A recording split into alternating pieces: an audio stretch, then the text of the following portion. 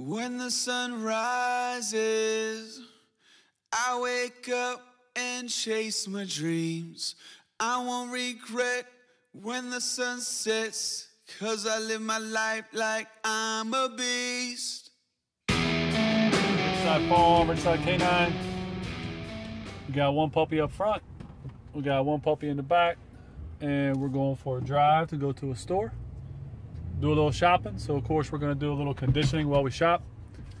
And uh, we try to get the dogs out into the cars as much as possible.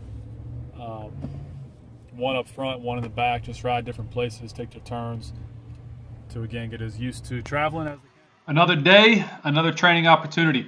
So today was a busy day. Uh, we had these pups and other dogs that were training all over the place. Here we're at PetSmart, I believe this is. It's a mega PetSmart. It's it's ginormous. It is huge. It's really out of control.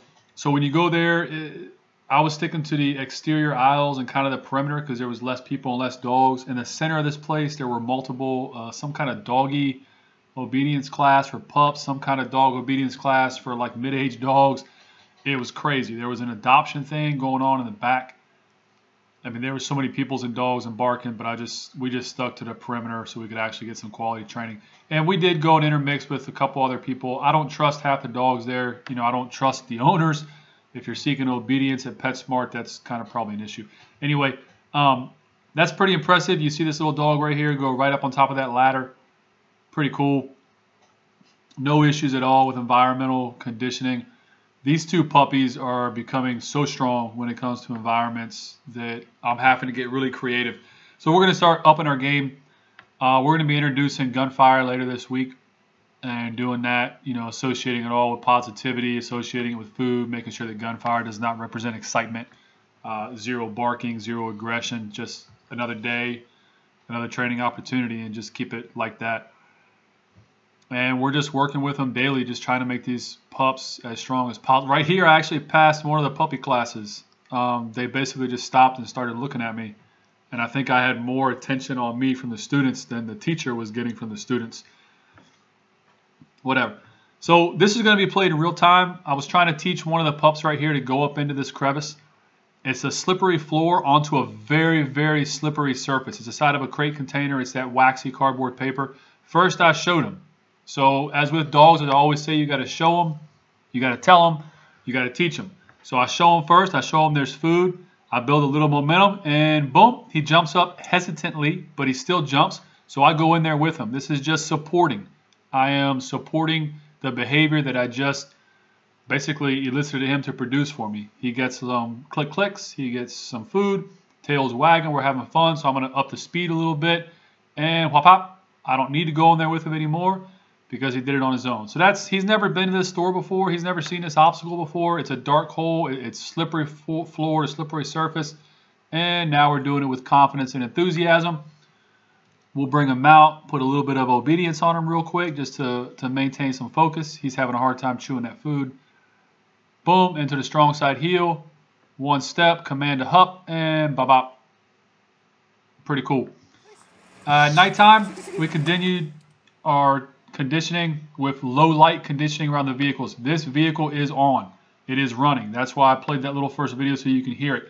We no longer condition around vehicles unless the vehicles are on. I don't want the dogs to get spooked the first time they come into a you know vehicle running and the odors and sounds that are associated with that. So you do it as real world as possible. And right here you see he's jumping in the car on his own. I'm ignoring him. As soon as he jumps up, clack clack, and he gets his food.